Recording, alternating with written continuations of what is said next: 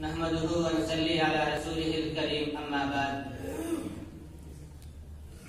أعوذ بالله من الشيطان الرجيم. لقد كان لكم في رسول الله أسوة حسنة وقال في موضع آخر وما أرسلناك إلا رحمة للعالمين. صدق الله العظيم. Honorable President of today's program, respected judges and dear all. It is great for me to have a talk on the topic of the Prophet Muhammad in the sight of non-Muslim thinkers. Dear audience, Allah has sent on His Messenger Muhammad, peace be upon him, as the mercy to the universe, His mercy prevail. On all humans, non-humans, stones, trees, solids, animals, Muslims and non-Muslims. It was the personality of the Prophet Muhammad, peace be upon him, which was blessed with all great qualities. He was sent to the world as the last prophet and as the final ones. After who, no other messenger was to be sent again by Allah. When the Prophet ﷺ sent the army to fight the oppressor and aggressor, ordered his companions not to kill an old man or child, not to cut trees or destroy buildings, not to slaughter animals, but only for food.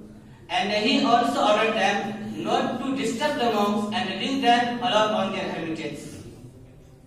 He even said, ordered his companions after they burnt ants, saying, No one is out to torture with fire except the creator of fire. Dear audience, many non-Muslim great thinkers and intellectuals stood fascinated by the personality of the Prophet Muhammad and his good morals and manners.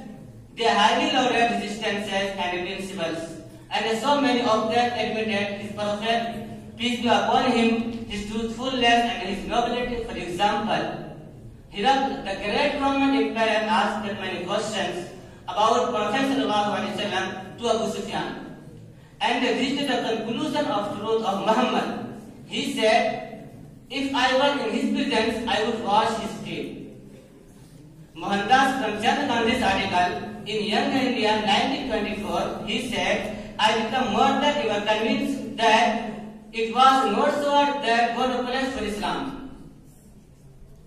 Professor Ramakrishna Rao said, the personality of Prophet Muhammad sallallahu alaihi wasallam, it is most difficult to get into the whole truth of it. Only a glimpse of it I can catch. What a dramatic succession of the picture scenes. There is Muhammad the Prophet, there is Muhammad the warrior, Muhammad the businessman, Muhammad the statesman, Muhammad the orator, Muhammad the reformer, Muhammad the refuse of offense, Muhammad the protector of slaves, Muhammad the emancipator of Islam, Muhammad the judge, Muhammad the saint. All in all these magnificent roles, all these all departments human activities, is a like hero.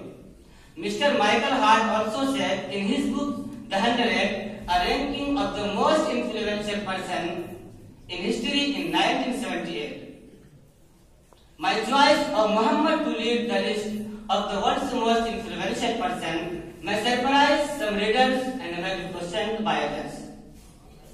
But he was the only man in history who was supremely successful secular and religious level. It is probable that relative influence which I think entitles Muhammad to be considered the most influential person. Mr. George Bernard Shaw states in Genuine Islam, it is most difficult to get into the whole truth of him.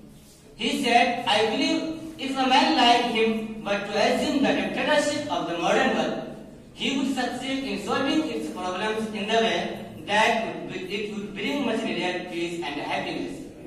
I have studied him, the man, and in my opinion is far from being an antichrist. He must be called the savior of humanity.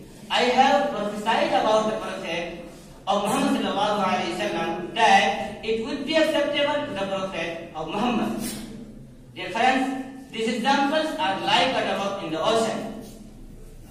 Many non-Muslim great thinkers and intellectuals, he said, if I believe he meant, if I were in his presence, I would wash his feet.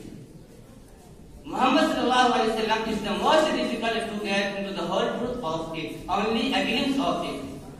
The Prophet changed the course of history and brought about an all-round positive revolution in all aspects of life. Through his universal teaching the humanity entered into a new era of peace and enlightenment.